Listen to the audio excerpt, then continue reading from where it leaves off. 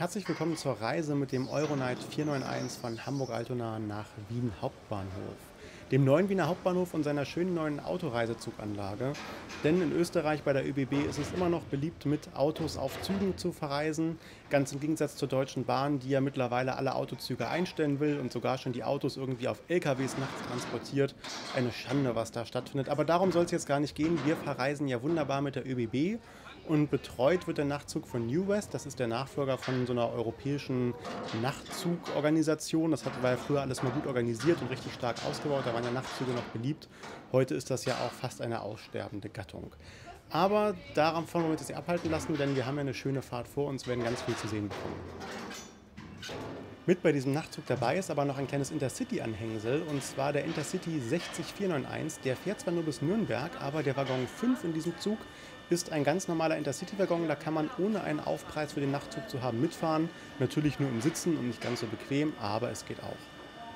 In 25 Minuten geht es dann auch schon los und die Mitarbeiter von DB Autozug haben gerade die Verladung der Fahrzeuge abgeschlossen. Es haben sich leider nur so wenig Fahrzeuge zusammengefunden, dass einer der beiden DDM-Wagen voll belegt ist. Unten stehen die Motorräder, oben stehen die Autos. Der zweite Wagen fährt leer nach Wien zurück. Als der Zug ankam heute Morgen, war es aber so, dass äh, da mehr drauf war. Also es lohnt sich schon, diese beiden Wagen mitzuführen. Neben der Strecke Hamburg-Wien betreut die ÖBB auch noch eine Strecke Düsseldorf-Wien. Auch da kann man mit dem Auto verreisen oder mit einem ja, Motorrad. Man kann aber auch von Berlin nach Wien fahren, fährt dann über Tschechien, über Prag entsprechend. Da gibt es aber anscheinend keinen Autotransport mehr. Was schade ist, aber da in Berlin ja auch die Autoladeanlage, soweit ich weiß, eingestellt wurde und damit LKWs operiert wird von der DB, wäre das dann auch kein Wunder. Besonders beliebt ist der Zug natürlich bei Motorradfahrern. Die können so ins schöne Reisezielgebiet fahren, ohne die ganze Zeit auf der Autobahn irgendwie vor sich her juckeln zu müssen. Und die Motorräder werden ganz umsichtig gesichert, damit hier auch ja nichts umfällt oder irgendwie verloren geht auf der Fahrt. Und dann kann man morgens aufstehen, auf sein Motorrad steigen und dann die schönen Kurven unten im Gebirge kreuzen. Das ist natürlich eine schöne Geschichte. Für die Autofahrer sehen wir hier noch eine Rampe, so eine Gangway. Damit kann man dann entsprechend vom Oberdeck des Autoreisezuges einfach dann unten auf den Bahnsteig kommen und dann zu seinem Waggon hinüberschreiten. Im Zug angekommen sind wir jetzt hier im Schlafwagen. Dort befinden sich oben die Deluxe-Abteile zum größten Teil und im unteren Bereich des Waggons die Eco-Abteile, wobei die Eco-Abteile nur halb so groß sind wie die Deluxe-Abteile. Beim Deluxe-Abteil ist es so, dass man als Grundfahrkarte eine erste Klasse-Karte braucht und den Schlafwagenaufpreis löst. Bei den Eco-Abteilen reicht eine Fahrkarte zweiter Klasse und dann natürlich auch ganz normal den Schlafwagenaufpreis. Jetzt schauen wir uns hier mal das Deluxe-Abteil an. Es gibt ein Willkommensdrink, ein bisschen ja, Fruchtmus sozusagen in so einem Tetrapack, noch Wasser, zwei Tüten mit äh, Utensilien. Der Schlafwagenbetreuer war auch schon so freundlich, das Gepäck in der Garderobe zu verstauen. Und ähm, auf der linken Seite ist dann noch ein kleines Badezimmer. Man hat also im Deluxe-Abteil wirklich Dusche und WC mit im Abteil dabei. Das hat man in den Eco-Abteilen natürlich nicht. Aber dafür zahlt man natürlich auch einen ganz ordentlichen Aufpreis hier für die erste Klasse Grundfahrkarte. Ja, es gibt ein Waschbecken, eine vollwertige Toilette, einen kleinen Mülleimer und äh, sogar in Nachtreisezügen Toilettenbürsten. Das gibt es ja in Tagreisezügen irgendwie nicht. Warum das diesen Unterschied gibt, das habe ich mich immer schon mal gefragt. Vielleicht, wenn das jemand weiß, kann das ja mal in die Kommentare schreiben. Die Dusche hat natürlich auch eine Thermostatregelung, kann man denn warm und kalt duschen.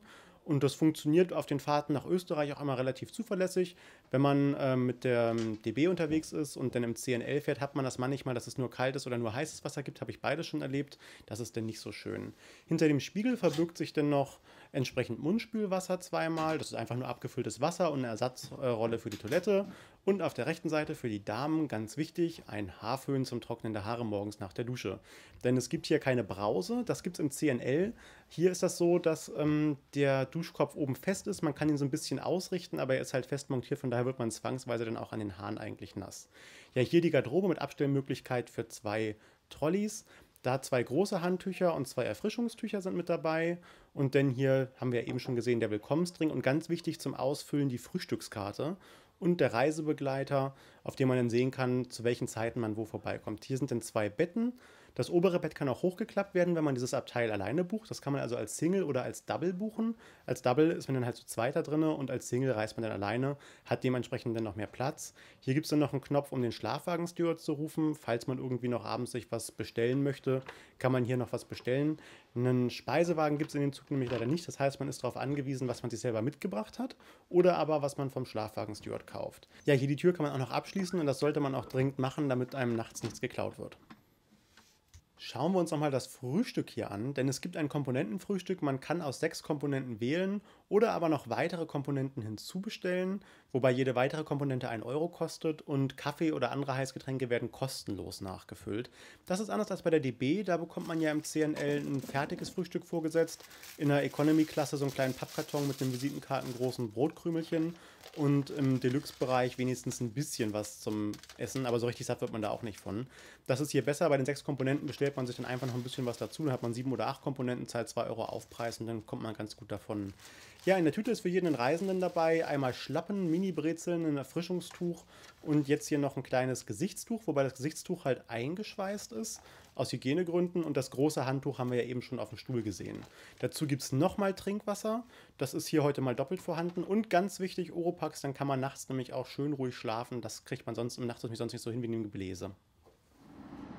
Schauen wir nochmal auf den Bahnsteig. Da ist jetzt mittlerweile die Warnanlage angegangen, denn die Oberleitung hat wieder Saft bekommen. Deswegen geht jetzt auch die Klimaanlage im Zug endlich. Das war nämlich eben schon ganz schön warm.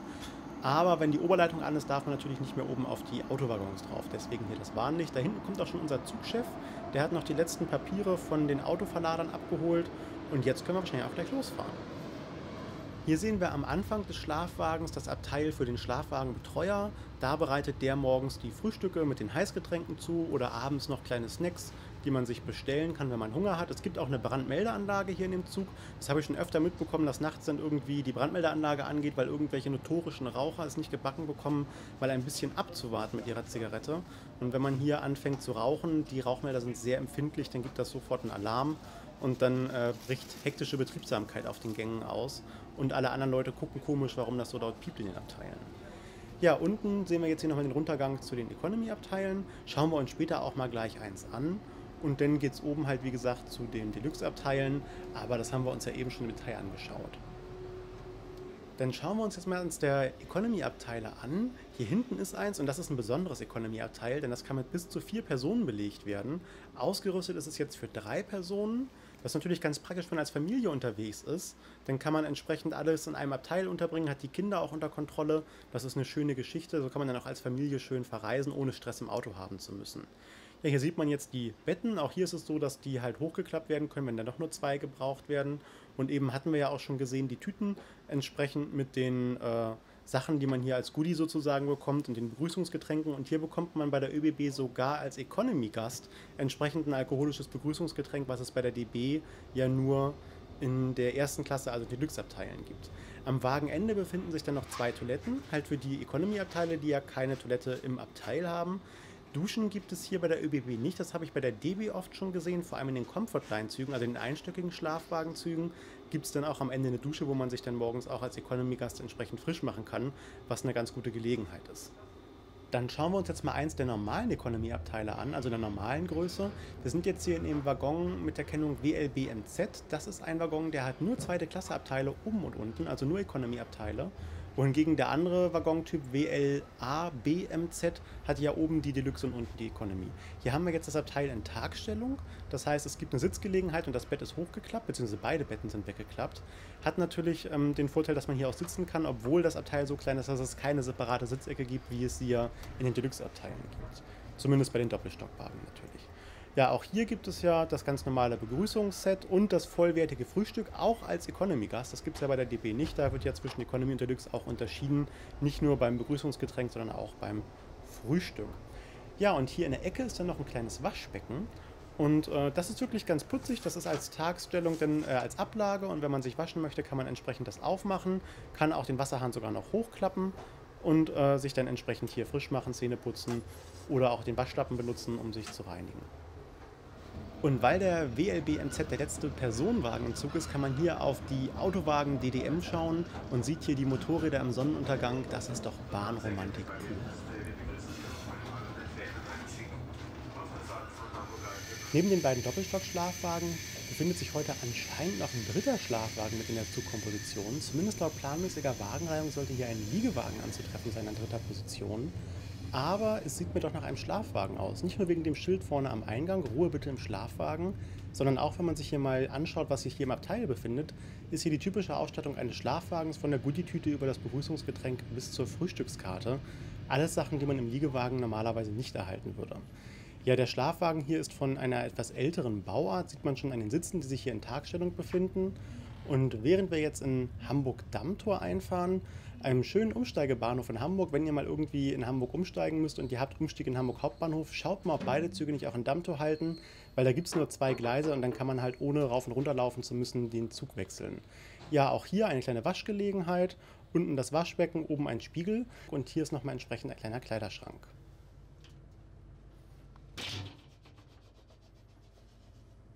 Lassen wir die Schlafwagen hinter uns und kommen zu einer wesentlich preisgünstigeren Reisekategorie, dem Liegewagen. Den kann man buchen in Vierer- und Sechser-Belegung, entsprechend dann in Vierer-Belegung einen kleinen Ticken teurer. Dafür hat man aber auch mehr Platz im Abteil, wenn man halt nicht mit sechs Leuten auf so kleinem Raum zusammengefercht wird. Auch hier sehen wir eine schöne Tagstellung. Die Liegen sind ja einfach so angeordnet wie eine normale Sitzbank, sodass man hier tagsüber schön sitzen kann. Und hier sieht man dann, dass halt sechs Liegen insgesamt heruntergeklappt werden können. Und anstatt richtiger bezogener Bettdecken gibt es hier halt ganz normale Fließdecken, die dann einfach mit einem kleinen Laken äh, ja, überzogen werden. Aber es ist halt keine richtige Bettdecke. Und man zerwühlt das nachts auch immer. Man kann hier aber wenigstens im Abteil die Temperatur einstellen. Kann man im Schlafwagenabteil natürlich auch. Die Lautstärke-Einstellung ist meistens überbrückt. Ob das jetzt hier so ist, weiß ich nicht. Und man kann natürlich das Licht nachts ausmachen. Und man kann die Tür verschließen, aber nur wenn man beide Hebel entsprechend betätigt hat. Es gibt hier für jede Liga auch entsprechend ein Leselicht. Man hat natürlich das Problem, dass nachts, wenn man dann schlafen möchte, unter Umständen einer wach bleiben möchte, macht dann noch dieses Leselicht an, dann ist ja schon relativ hell im Abteil. Also ich halte von diesen Liegewagen nicht so viel zum Verreisen, weil man bekommt halt oft nicht so richtig Schlaf, auch weil Leute manchmal nachts ein- oder aussteigen. Es gibt hier im Abteil dann noch äh, entsprechend Mülleimer, wobei das Ein- und Aussteigen ist eigentlich vom Buchungssystem geblockt, aber manchmal halten sich Leute nicht dran, buchen einfach ein bisschen länger und steigen dann trotzdem aus und solche Sachen. Da ist man natürlich nicht vorgefeit. Ja, ansonsten gibt es hier keine Möglichkeit zum Frischmachen. Man kann aber hier auf dem Gang entsprechend sich dann rasieren. Auch hier ist dann ein Spiegel mit Steckdose. Im Hamburger Hauptbahnhof hat man nochmal einen kleinen Aufenthalt. Das ist für die Raucher nochmal eine schöne Gelegenheit, kurz zu rauchen. Wir nutzen aber die Gelegenheit, mal am Zug entlang zu laufen und uns von hinten wieder vorzuarbeiten. Hier sehen wir den Sitzwagen, der entsprechend auch ein Fahrradabteil mit sich führt, was natürlich ganz praktisch ist, wenn man halt nicht mit einem Motorrad verreist, sondern mit einem kleinen Drahtesel. Das ist dann wahrscheinlich ein Waggon vom Typ BBMVZ. Ja, hier sieht man dann entsprechend sechs Sitzplätze und diese Waggons sind auch meistens stark ausgebucht. Der Aufpreis ist natürlich sehr gering hier. Ich glaube irgendwas bei 7 Euro ähm, gegenüber dem normalen Intercity-Waggonteil. Ähm, dafür sind die Sitze meiner Meinung nach ein bisschen bequemer und lassen sich auch besser zusammenschieben. Aber mit sechs Leuten zusammen in dem kleinen Abteil die ganze Nacht, also an Schlaf könnte ich da nicht denken. Schauen wir mal weiter im Wagen, denn vorne befindet sich noch ein ganz besonderes Abteil, was wir uns auf jeden Fall mal anschauen sollten. Für Reisende mit eingeschränkter Mobilität hat die ÖBB hier ein besonderes Schlafwagenabteil mit im Zug. Im Sitzwagen befindet sich nicht ein einziges Schlafwagenabteil, das rollstuhlgerecht ausgebaut ist. Hat ein besonders tief liegendes Bett auch die Drehregler zur Einstellung der Temperatur und eine kleine Steckdose befinden sich hier unten auf einer besonders niedrigen Höhe, sodass es dann auch vom Rollstuhl entsprechend alles erreichbar ist. Und es befinden sich natürlich auch in Bodennähe Notruftasten, sodass falls irgendwie doch mal was passiert, man sich Hilfe rufen kann. Und auch die Tür kann hier per Knopfdruck entsprechend geöffnet werden. Direkt neben dem rollstuhlgerechten Schlafwagenabteil befindet sich hier in diesem Sitzwagen auch noch eine rollstuhlgerechte Nasszelle, entsprechend mit einer Toilette und verstärkten Haltegriffen. Daneben ist noch ein Wickeltisch, das ist natürlich für Familien ganz interessant, die nur im Sitzwagen verreisen und keine eigenen Abteile haben, um entsprechend dann die Kleinen zu versorgen, wenn doch mal ein Windelwechsel nötig sein sollte. Schön finde ich hier in, diesem, äh, in dieser Nasszelle die relativ moderne Einrichtung. Dieser Sitzwagen ist insgesamt von einer relativ modernen Einrichtung. Der muss irgendwann mal modernisiert worden sein und es gibt hier entsprechend auch einen Föhn, um die Hände zu trocknen, nicht nur Papiertücher. Nachdem wir den Hamburger Hauptbahnhof hinter uns gelassen haben, sehen wir hier noch entsprechend die Spiegelbürogebäude vom Spiegelverlag und hier beginnt dann auch schon das große Baugebiet Hafen City, wo relativ viel neu gebaut wird und auch das Riesenrad ist da hinten schön zu sehen. Ja, die Scheiben hätte die ÖBB mal putzen können. Das ist hier nicht so schön, aber der Autofokus braucht nur ein bisschen und dann können wir wieder weiter ausgucken. Und dann kommt auch gleich schon die Elbe vorbei und wir fahren dann über die Elbbrücken während des Sonnenuntergangs gen Süden Richtung Wien. Die vorzügliche Alternative zur Bestellung von Speisen beim Schlafwagenbetreuer, weil es ja eben keinen Speisewagen gibt, ist es, sich einfach Speisen mitzubringen. Und im Altona gibt es ein Vapiano, da kann man sich dann entsprechend für die Fahrt eindecken und jetzt schön speisen.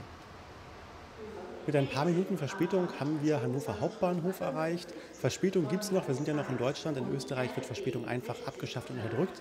Und hier sehen wir jetzt noch die Schlafwagenbetreuer, die entsprechend aufpassen, dass die Reisenden die richtigen Waggons besteigen und entsprechend den Leuten den Weg weisen am Bahnsteig. Hat den großen Vorteil, dass nicht Leute mit Fahrrädern, so wie es eben versucht wurde, in den falschen Waggon einsteigen und dann nachts durch den ganzen Zug durchrumpeln, um entsprechend dann den richtigen Waggon zu erreichen. Ja, und äh, der Hannoveraner Hauptbahnhof ist auch eine schöne Gelegenheit, sich was zu besorgen, denn die hat auch nachts noch ein Eiscafé offen. Wenn man im Sommer also noch einen Eisbedarf hat, nachts kann man den hier decken. Jetzt wird es aber auch Zeit, zu Bett zu gehen, damit wir am nächsten Morgen ausgeruht in Wien ankommen.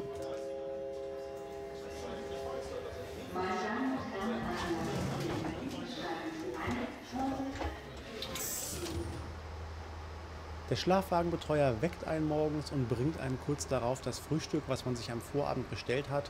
Von daher bleiben einem hier unschöne Überraschungen erspart, sondern man bekommt genau das, was man sich auch bestellt hat und manchmal sogar ein bisschen mehr, wenn der Schlafwagenbetreuer noch was abzugeben oder über hat. Ja, und wenn man sich vom Vorabend was aufbewahrt, kann man den Tag auch mit einem Sekt oder einem in diesem Fall sektähnlichen Schaumwein beginnen. Nach dem Frühstück sind wir auch schon in Wien, zumindest in Wien-Meidling. Da wollten wir aber nicht hin, von daher warten wir noch kurz. Nächste Haltestelle wäre dann auch schon Wien Hauptbahnhof.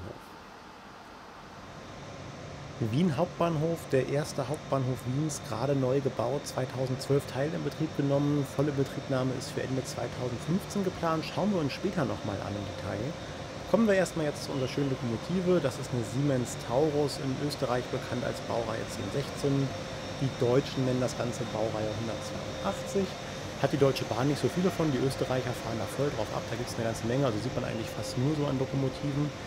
Danach das Intercity-Anhängsel hätte ja eigentlich gesperrt sein sollen, dieser Wagen von Typ BWMZ, war aber, wie ich jetzt hier gesehen habe, wohl anscheinend bis heute Morgen noch besetzt, sind auf jeden Fall Leute ausgestiegen. Danach kommen die beiden Sitzwagen österreichischer Bauart, BMZ dann der BBMVZ, das ist ja dieser ganz besondere Wagen, ein Sitzwagen, der noch einen Schlafwagenabteil hat, was behindertengerecht ausgeführt ist und natürlich auch die behindertengerechte Nasszelle. Danach werden wir dann gleich mit blauer Lackierung noch sehen, ähm, vier, wenn ich mich jetzt eben nicht verzählt habe, BCMZ, das sind die Liegewagen. Und die hatten wir uns ja auch alle von innen angesehen. Ihr habt ja eine schöne Übersicht bekommen aller Komfortkategorien, die es jetzt hier in diesem Nachtzug gibt. Angefangen, wie gesagt, vom Sitzwagen über den Liegewagen, Schlafwagen Economy und Schlafwagen Deluxe, beziehungsweise halt auch genannt Schlafwagen erste Klasse, Schlafwagen zweite Klasse. Ja, hier der Liegewagen jetzt. Festzuhalten bleibt, dass ich die Fahrt mit dem Euronight äh, 491 extrem gut fand. Also im Vergleich zum CNL ist das hier um Welten besser, was die Österreicher bieten. Angefangen vom viel schöneren Frühstück über auch gutes Frühstück in der Economy-Schlafwagen-Kategorie über Willkommensdrink, diese kleinen Tütchen mit Schlappen dabei und einem eingeschweißten Handtuch aus Hygienegründen. Also das ist wirklich eine ganz famose Geschichte. Da hat mich jetzt hier die österreichische Bahn oder ÖBB, österreichische Bundesbahn, ähm, sehr positiv überrascht. Hätte ich nicht gedacht, dass man so schön im deutschsprachigen Raum noch Nachtzug fahren kann. Für alle Nachtzugfans auf jeden Fall meine absolute Empfehlung. Ja, danach kommen dann noch die Schlafwagen, der einstöckige alte, die beiden doppelstöckigen Schlafwagen und dann die Autoreisezugwagen. Bahnsteig 9. Euronight 491 nach Wien, Hauptbahnhof. Autoreise, Zug fährt ab.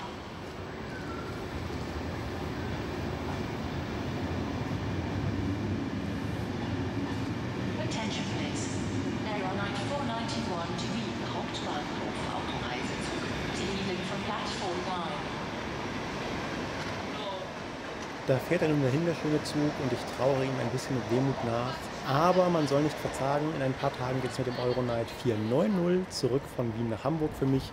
Da freue ich mich schon drauf, wie ein kleiner Schneekönig.